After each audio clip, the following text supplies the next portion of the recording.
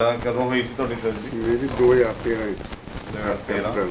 ਅਪ੍ਰੈਲ ਅਪ੍ਰੈਲ ਮਤਲਬ 5 ਸਾਲ ਪੂਰੇ ਹੋ ਗਏ 5 ਸਾਲ। ਕ੍ਰਾਸ ਕਰ ਗਏ ਇਹ ਕਿੰਨਾ ਸੀ ਉਦੋਂ weight ਕਿੰਨਾ ਸੀ ਉਦੋਂ ਉਦੋਂ 133 ਦੇ ਕਰੀਬ ਸੀ 133 133 ਅੱਛਾ ਜੀ। ਤੇ ਨਾਲ ਹੋਰ ਕੀ ਪ੍ਰੋਬਲਮ ਸੀਗੀਆਂ ਤੁਹਾਨੂੰ? ਉਦੋਂ ਦੇ ਸ਼ੂਗਰ ਬਲੱਡ ਪ੍ਰੈਸ਼ਰ ਦੀ ਰੋਜ਼ ਗੋਲੀ ਖਾਣੀ ਪੈਂਦੀ। ਅੱਛਾ ਜੀ। ਸ਼ੂਗਰ ਦੀ?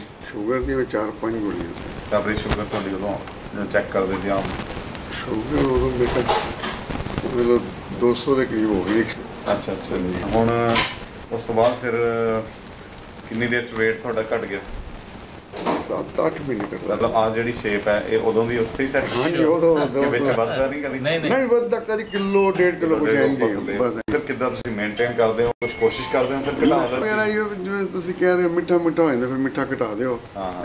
ਕਿੰਨਾ ਚੱਲ ਰਿਹਾ weight ਤੁਹਾਡਾ? 70 71 ਇੰਜੀ ਹੈ ਕਦੀ 70 ਮਤਲਬ ਰਫਲੀ 60 62 ਕਿਲੋ ਡਾਊਨ ਹੀ ਚੱਲ 12 ਰਿਹਾ। ਕਿਲੋ ਡਾਊਨ ਹੋ ਗਿਆ।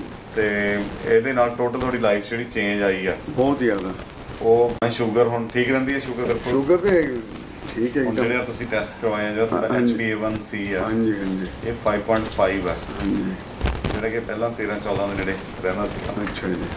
5.5 is pretty much like any other normal person the